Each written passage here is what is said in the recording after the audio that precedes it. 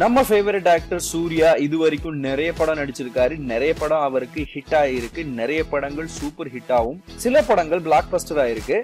இந்த லிஸ்ட்ல அவரோட பத்து சூப்பர் ஹிட் மூவிஸை பத்தி பார்க்க போறோம். ரெண்டாயிரத்தி மூணுல கௌதம் வாசுதேவ் மேனோன் டைரக்ஷன்ல நம்ம சூர்யா செம்ம கெத்தா போலீஸ் விஷயத்துல வந்து தமிழ்நாட்டையே கலக்கின படம் காக்க காக்க. இந்த படத்துல ஜோதிகா அவருக்கு ஜோடியா நடிச்சிருப்பாங்க. இந்த படம் ஒரு ரொமான்டிக் கிரைம் த்ரில்லர்னு சொல்லலாம்.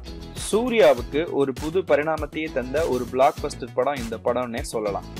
அடுத்ததா ரெண்டாயிரத்தி மூணுல விக்ரமோட இணைஞ்சு நம்ம சூர்யா நடிச்ச படம் பிதாமகன். அப்படியே ஒரு காமெடி ரோல்ல அவர் ஒரு வெரைட்டி காமிச்ச படம் இது. இந்த படத்தை பாலா டைரக்ட் பண்ணி இருந்தாரு இந்த படத்துல சூர்யாவுக்கு ஜோடியா லைலா கலக்கியிருப்பாங்க. இந்த படமும் சூர்யாங்க இந்த படமும் சூர்யாவுக்கு ஒரு பிளாக் பஸ்டரா அமைஞ்சிச்சு. அடுத்ததா ரெண்டாயிரத்தி அஞ்சுல ஏ ஆர் முருகதாஸோட இயக்கத்துல சூர்யா அசின் நயன்தாரா நடிச்சு வெளிவந்த படம் கஜினி. ஒரு சைக்கலாஜிக்கல் த்ரில்லர் கம் ரொமான்டிக் கலவையில வந்த இந்த படம் ஒரு மெகா பிளாக் பஸ்டர் மூவியா சூர்யாவுக்கு அமைஞ்சிச்சு. இந்த படத்துல சூர்யா பாடி பில்ட் எல்லாம் பண்ணி சிக்ஸ் பேக்கோட வந்து கலக்கியிருக்காரு.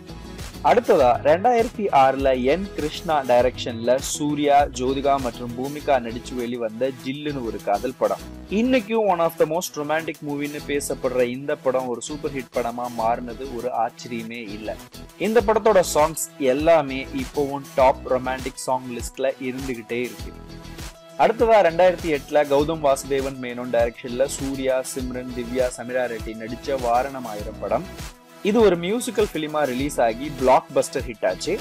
இந்த படம் ஃபேன்ஸுக்கு மத்தியில சூர்யாவை ஒரு அடுத்த லெவலுக்கு எடுத்துட்டு போன படம்னே சொல்லலாம் படம்னே சொல்லலாம். அடுத்ததா ரெண்டாயிரத்தி ஒன்பதுல கே வி ஆனந்த் டைரக்ஷன்ல சூர்யா பிரபு தமன்னா நடிச்சு வெளிவந்த பிளாக் பஸ்டர் மூவி அயன்.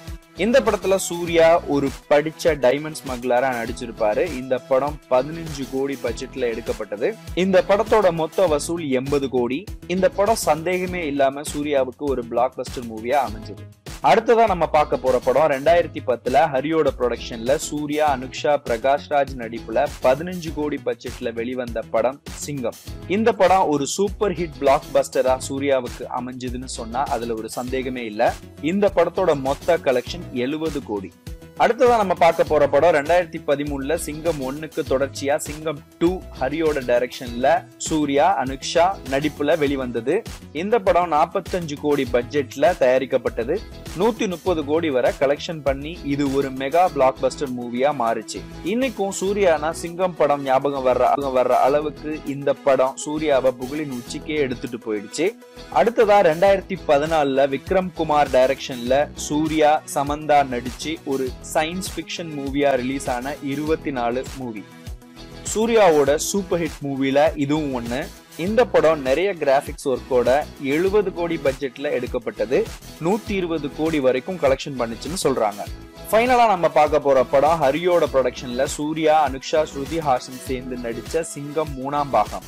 இந்த படம் சூப்பர் ஹிட் ஆகி அவரை புகழோட உச்சிக்கே எடுத்துட்டு போச்சு.